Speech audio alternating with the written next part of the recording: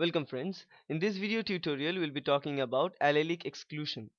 Now what do we mean by allelic exclusion? First of all the terms allelic exclusion means the exclusion of allele. Now what are alleles? We all know that we are having a gene. Suppose we are having one gene. Now for for that one gene that gene can have two different copies. Two different copies one coming from our father one coming for, from our mother.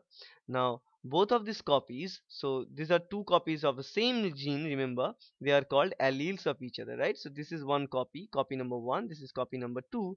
Now both of them copy number one and two are will be called as alleles of each other. Okay.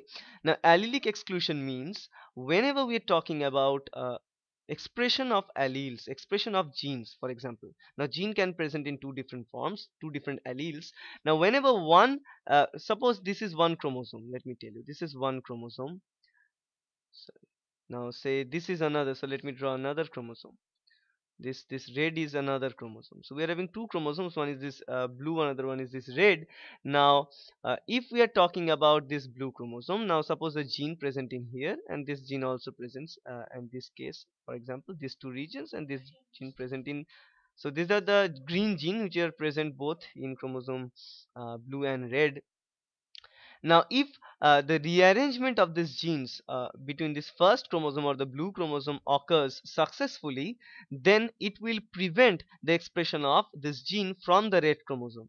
Okay so if the chromosome uh, if, if the genes are expressed by this chromosome it will lead to the expression exclusion for this one. So this is called the exclusion of alleles or allelic exclusion right? So that means one type of successful rearrangement blocking the expression of gene from other chromosome.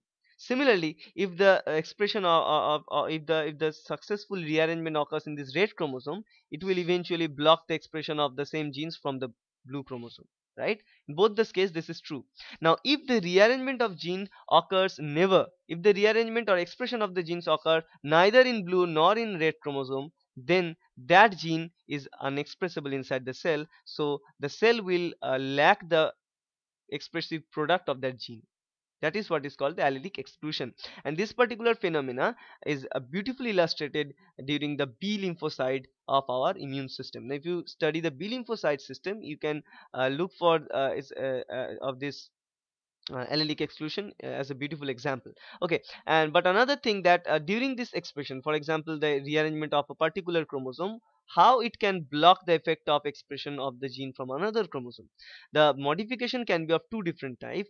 Uh, one reason for that it can be of a transcriptional regulation. So suppose due to the expression of a gene from one chromosome is providing some transcription factors which are blocking the expression of same gene from other chromosome.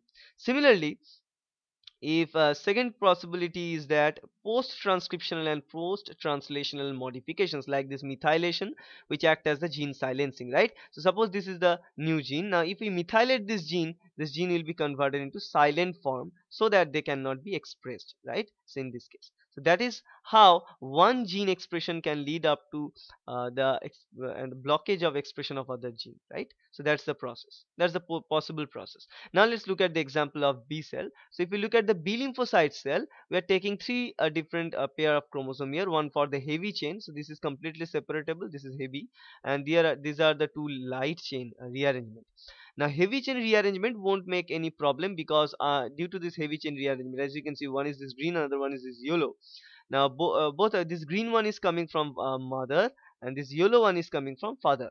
Now any of these two heavy chain can be expressed. Now we are not that much bothered about this heavy chain rearrangement because this heavy chain uh, most of the heavy chain domain are not responsible for the attachment of antigens. So they are the structural parts. We don't bother about bother much about this particular section. But what we are interested in about this uh, light chain rearrangement which is kappa and uh, lambda in this case. So in case of this kappa and lambda we are having maternal red paternal purple and also maternal pink and paternal blue. So we are having this kind of uh, rearrangement. So rearrangement can take place in this case. For example say for the first case when we are having the heavy chain expressed by this maternal one. So we are having maternal heavy chain expressed. Now uh, this one present in this chromosome. Now similarly we are having now two different light chain kappa or lambda to be expressed. Now in this case what we can see that this red one which is a kappa 1 is expressing and this kappa is from the mother right? So this kappa is expressing along with the mother heavy chain in this picture. So what it means that it is expressing from this chromosome and this is expressing from that. That means expression from this kappa set of chromosome will block the expression of this lambda. So we can we cannot find any expression of lambda light chain in these surface receptors like in this particular picture. So what we are talking about is the expression of uh, these proteins which are responsible and act as a surface receptor of the b cell which are also called the b cell receptors or antibody receptors. Okay. Now similarly in case of this uh, second possibility that we are also having the heavy chain coming from mother or it can come from father whatever it, it is coming from mother. But rest of the part we are having two possibility kappa and lambda. Among this kappa and lambda we are having the expression of here we can see the lambda one right? Here we are seeing the expression of lambda one it is coming from father. So it means that whenever we get the expression of this lambda it will block the expression of kappa. So we cannot find the expression of kappa in the surface receptor for this case. Similarly we cannot find the expression of lambda in in the surface receptor of this case. Okay? So here in this case lambda is excluded and in this case uh, kappa is excluded this is called the allelic exclusion. And here it is the example of allelic exclusion. Okay so that's it and i hope that's helpful. Thank you